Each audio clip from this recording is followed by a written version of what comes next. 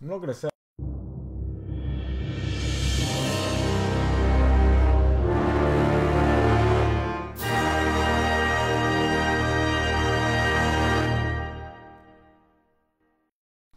Right, now that's over, let's get into the news.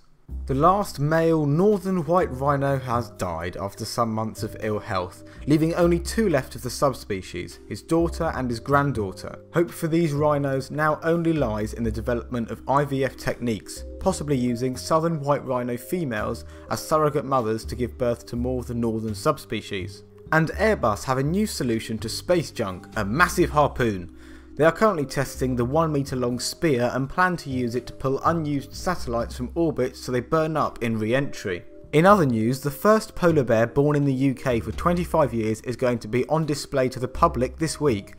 Born back in December of 2017, footage has been released on Channel 4 of the confident and curious bear cub at Highland Wildlife Park in Scotland. A new study published in the journal Nature this week shows how the different ways that dinosaurs made their nests and what materials they made them out of allowed them to survive in harsher and more diverse environments.